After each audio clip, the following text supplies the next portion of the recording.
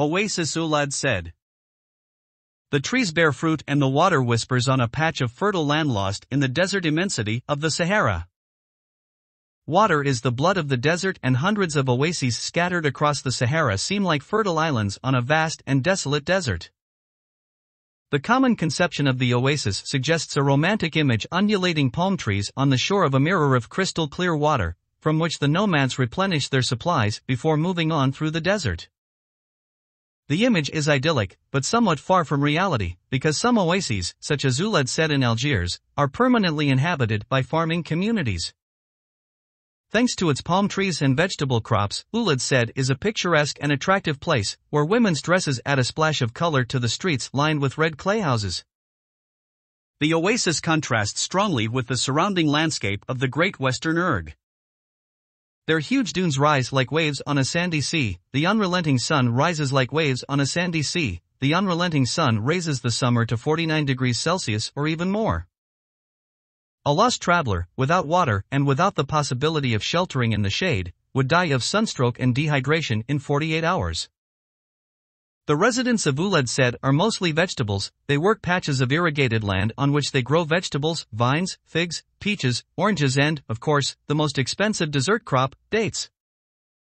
Among the palm trees, a few pillars mark the place of the former slave market, poor unfortunates who worked to build the irrigation canals, called fouggara, facilitating today's well-being of the inhabitants.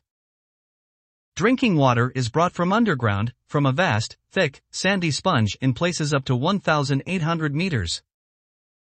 The date, they say, likes to stay with its head in the fire and its feet in the water. Like the camel, this tree is essential for desert life and, as a result, it is treated with respect and love, like a close relative, myths and legends being created around it. One of these narrates that Allah incorporated the date from the field that remained after creating Adam. Others claim that, after driving Adam out of heaven, God asked him to cut his hair and nails and bury them, from which a tree with juicy leaves would have grown. The Tree of Life. It is said that every kernel develops close relationships with its fellows. If one dies, his close friend mourns him and stops bearing fruit. A female tree dies if its mate dies. The fruit of this precious tree is a staple food, which can be eaten fresh or dried and stored in flour.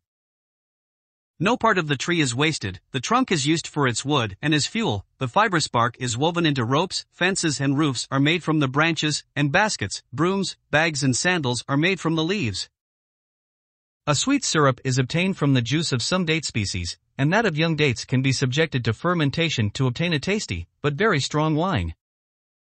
Even the kernels are not thrown away, roasted and ground, coffee is made from them, an alternative to hot tea served on cold dessert evenings.